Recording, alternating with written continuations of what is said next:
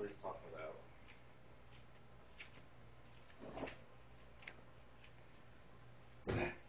Well, shit. Crap. I was like, what are you doing? Come on!